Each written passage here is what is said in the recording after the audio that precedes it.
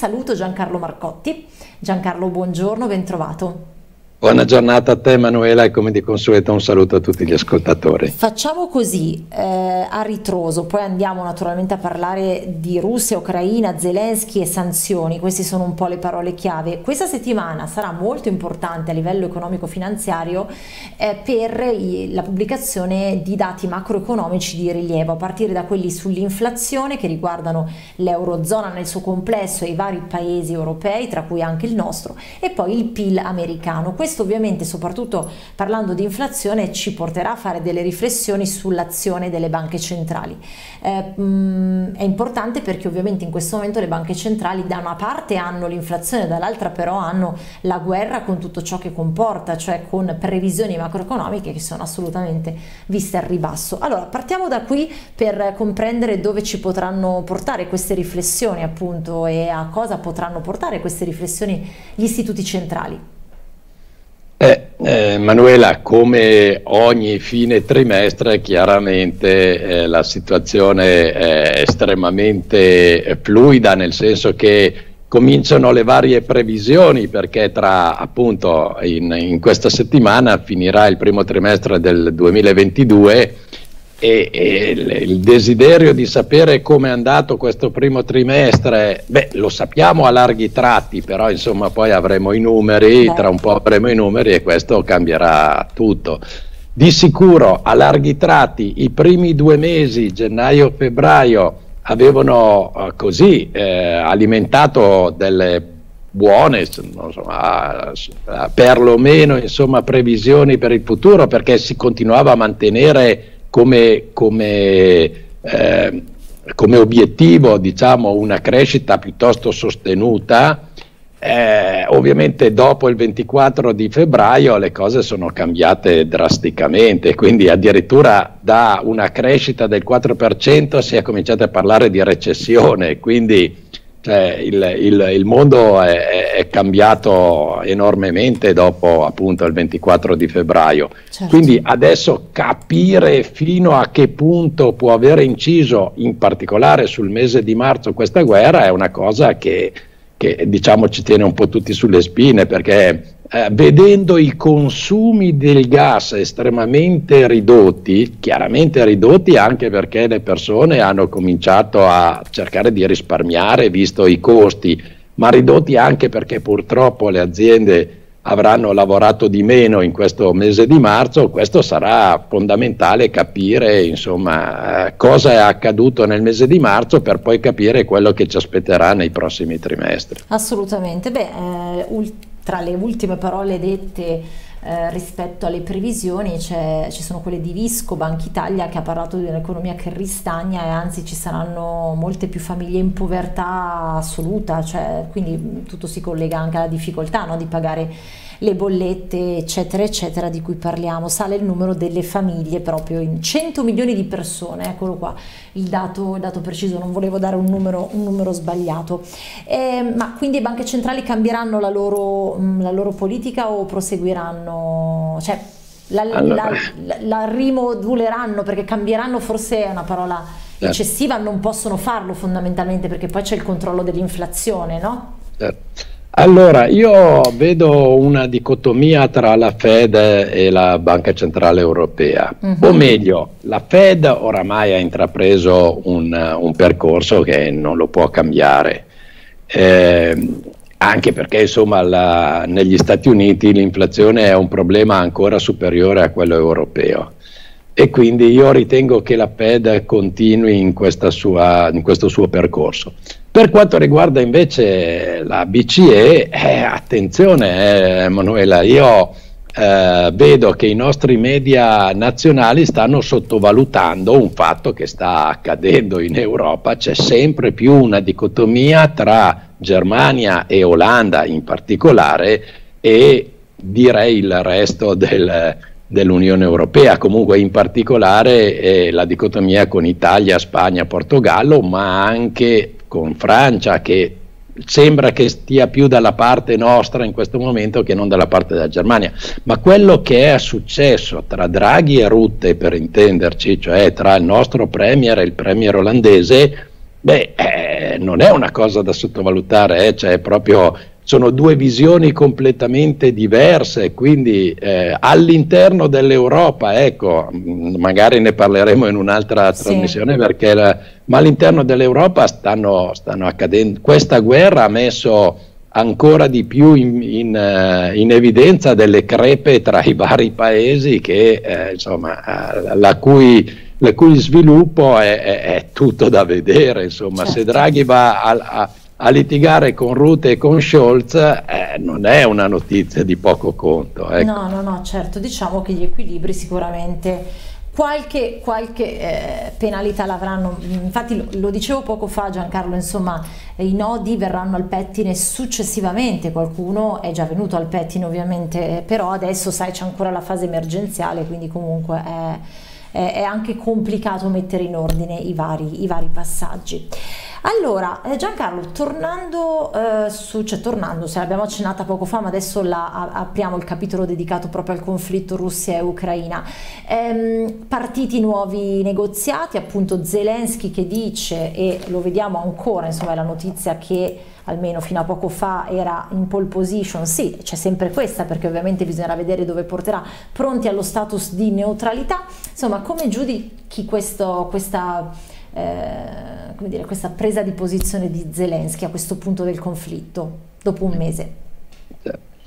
Allora, eh, innanzitutto una piccola, breve anzi, riflessione sulla questione della guerra lampo non lampo. Mm, sì. Allora, eh, se i russi eh, sono, sono insomma, rispettano eh, le, le ciò che avevano detto, cioè che non avevano intenzione assolutamente di annettersi la, uh, l'Ucraina in toto, ma eventualmente solo di fermare la guerra del Donbass e poi lasciare al Donbass la, eh, eh, appunto la possibilità di, di autodeterminarsi. Quindi se addirittura diventare Russia, se rimanere Ucraina oppure se la cosa diciamo più probabile è di creare un, di, chiamiamolo un nuovo Stato, comunque insomma l'indipendenza dall'Ucraina ma anche l'indipendenza dalla Russia, con ovvio un,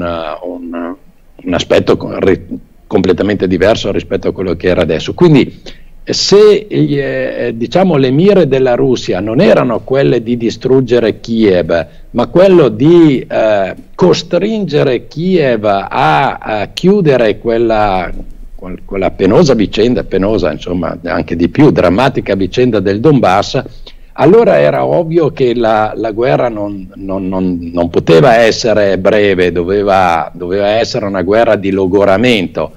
Poi chi dei due eh, sarebbe logorato per primo è, da, è ovviamente da, da, stabilire. In certo. questo io, l'avevo de- io ho sentito prima Andrea, se non mi sbaglio, che ha parlato eh, di, di, questo e a me eh, sembra che abbia detto le cose corrette, cioè che attenzione, eh, alla fine come, come, sempre quando ci sarà un, così, un negoziato eh, che porterà ad una ad una situazione definitiva, insomma, entrambi eh, così, rivendicheranno di avere eh, vinto, insomma, perché è ovvio, eh, eh Zelensky potrà dire Kiev è rimasta Ucraina, non, eh, non mm. ci hanno soprappato, ma contemporaneamente magari mm, Putin potrà dire che Donetsk e Lugansk finalmente libere e, e così via. Quindi stiamo a vedere quello che succede, però è molto probabile che la cosa abbia ancora una durata. benissimo questa, questa, uscita adesso che hai appena sottolineato di Zelensky sulla neutralità eh, della, dell'Ucraina, che era un punto fondamentale. Se si va avanti ancora un po' su questa strada, penso che si possa raggiungere un compromesso insomma, Beh, era positivo. Zelensky ha detto mm, Putin ha iniziato la guerra per questo, quindi insomma così a conti fatti, almeno sulla carta, dovrebbero esserci buone probabilità che ci si avvii verso quantomeno a una, una risoluzione o un primo accordo, insomma poi Eh, poi vedremo, peraltro eh, Giancarlo, le, le, le, la Russia ha ritirato le truppe intorno a Kiev perché anche l'esercito russo insomma, comincia a soffrire di questa situazione, non è che eh, siano esenti no, da, da quello che sta succedendo. Beh, ovviamente è ovvio, insomma, se, no, si no, no, guerra, se, si va in guerra, delle caso, perdite. Intendo dire, non a caso state ritirate in questo momento, forse perché appunto eh, da una parte i negoziati, dall'altra uno stop a, a quantomeno per vedere cosa succede. Esatto, quindi questo è un aspetto ulteriormente positivo della, della vicenda. Se eh, insomma, se si fanno passi avanti ancora in questa direzione, ripeto, non, eh, io non, non, non, ho fiducia che possa eh, così finire tutto nel giro di una settimana, ma magari di un mese, di un mese e mezzo, così insomma si possa arrivare ad un accordo eh, che, che possa andare bene per entrambe le parti. Certo, assolutamente sì. Allora, Giancarlo, allora, come dicevamo, eh, un mese di sanzioni contro la Russia, facciamo un po' un bilancio con te perché eh, sul, mh, mm, allora, per quanto riguarda le sanzioni ne abbiamo già parlato anche in altre puntate, ma sono già quattro i pacchetti di sanzioni che sono stati imposti dall'Unione Europea alla Russia di Vladimir Putin, come eh, lo sappiamo forma di pressione per convincere il paese a porre fine eh, all'offensiva eh, sull'Ucraina. Eh, peraltro Mosca era già stata sanzionata otto anni fa per l'annessione della Crimea, però rispetto a quello che sta succedendo adesso le misure erano più limitate, quindi diciamo che erano eh, passate un po' più inosservate, se vogliamo usare questa espressione, da parte di, di, Putin. In questo caso è un po' diverso perché le sanzioni che sono state eh, studiate e che stanno continuando ad andare avanti, perché insomma poi l'Occidente sta dicendo se Putin non si ferma noi continueremo, rischiano di portare veramente la Russia a un passo dal default. Insomma, per certi versi la situazione è veramente già allo stremo, non solo a livello militare ma anche proprio eh, economico. Ehm, allora, ripartiamo da qui, facciamo un po' un bilancio. Che cosa hanno portato queste sanzioni finora, sia alla Russia ma anche e forse soprattutto in questo caso all'Europa, all'Occidente, all'Italia, insomma cerchiamo di fare il punto complessivo. Guarda Manuela, dato che ovviamente prevedevo che l'argomento anche di questa settimana, ci mancherebbe altro, è ovvio, fosse la Russia, sì. mi sono documentato, oh, nel senso sì. che anziché utilizzare parole mie su, su, questo, che chiaramente oltre ad essere, eh, diciamo, non è che abbia eh, a disposizione dati o cose, quindi sarebbero del tutto personali, eh, mi sono documentato nel senso che ho cercato eh, di avere un parere da persone che invece erano eh, e sono tuttora molto legate al, al commercio con la Russia. Allora, eh, permettimi perché eh, me lo sono appuntato, quindi eh, per non sbagliare leggo le parole precise, sai come sono fatto, un po' un precisino io, cioè vabbè, ho sto difetto qua, comunque insomma. eh, vabbè, insomma. Eh, eh, perché non voglio mettere in bocca ad altre persone parole sì, che non no, hanno certo, detto. Certo, sono, giusto, mi, sono, sembra, mi, sembra, giusto, assolutamente. Sono, sono molto prudente. Allora, okay. Eh, ti riporto le parole di Paolo Bellini, che è stato tra i fondatori dell'Italia Russian Association, che è un'associazione appunto nata con lo scopo di vendere unità immobiliari ai russi. Allora, gli chiedono a, a, chiedono a, a Paolo Bellini, eh, le sanzioni fanno più male ai russi o a noi? Mm. Senti, la, senti la risposta.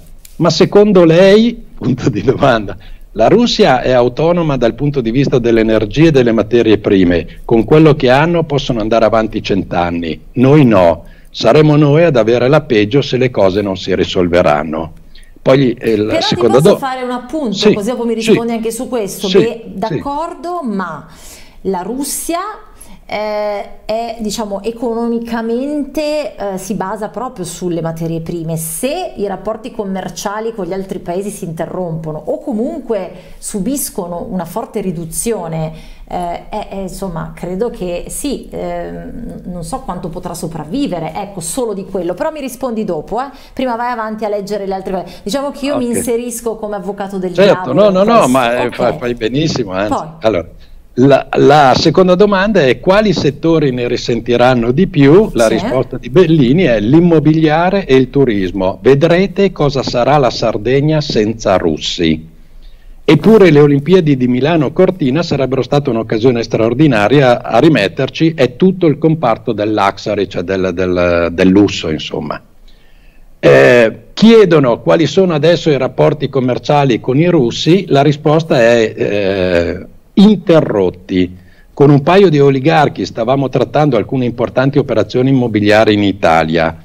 Eh, con altri clienti si ragionava, estate dopo estate, di affittare ville in Sardegna, a Capri, sull'Argentario. Ad oggi non sappiamo se quest'anno verranno o meno. Ecco, l'ho fatta breve. Eh, sì, non, no, no, beh, no. Punti, questi sono i punti Ma, poi più importanti, secondo certo, me. Certo. Okay.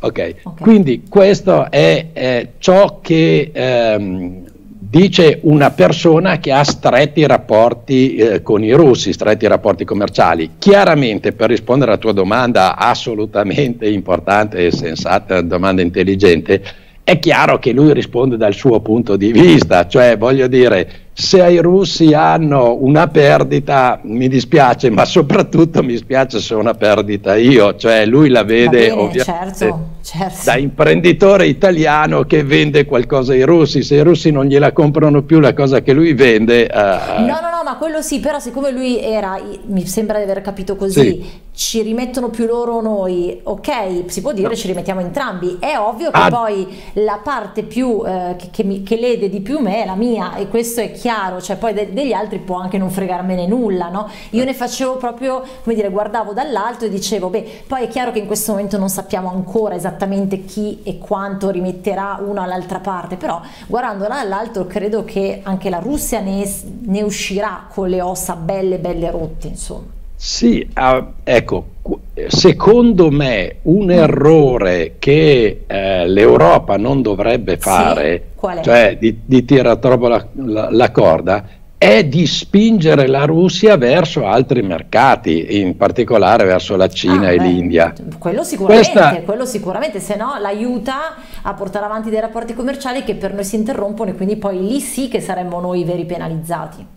Eh, e questo è appunto un, un, certo. una questione. Ed effettivamente un po' Macron l'ha già capito, nonostante che la Francia sia nettamente il paese che ha il numero superiore di centrali nucleari, quindi teoricamente dipende meno dal, dall'importazione di gas russo. Ma lo ha capito anche Scholz che così eh, con, con cioè, fa capire di non tirare troppo la corda perché a lui che poi oltretutto è è cancelliere da pochi mesi, insomma, eh, vedere, vedere la, la, l'economia tedesca andare a picco eh, chiaramente verrebbe insomma, eh, penalizzato enormemente anche la, dal, come politico, insomma, cioè, ci sono stati 16 anni di Merkel e quindi di CDU eh, in cui eh, la Germania non ha avuto altro che crescita e, diciamo anche, anche sostenuta arriva questo socialdemocratico immediatamente l'economia va a picco, capisci che... Certo, non, certo. Quindi ci sono queste, queste, cose. Noi dobbiamo naturalmente, eh, il, il, il, chiamiamole le, le, le sanzioni, era quasi inevitabile che si facessero, cioè se sono fatte con la Crimea figuriamoci se non sarebbero fatte con, con un'operazione di quel genere. Però ripeto attenzione perché, per, perché, non siano un boomerang ecco perché non si arrivi poi a, a, a dover piangere sul latte versato insomma. no no cioè l'alternativa no lo so che non puoi dirmela tu l'alternativa però così a livello di commento quale potrebbe essere in questo momento sperando che comunque siamo possiamo essere in qualche modo, non dico a una fine totale, ma quantomeno all'inizio della fine del conflitto, no? con, queste, con queste trattative nuove?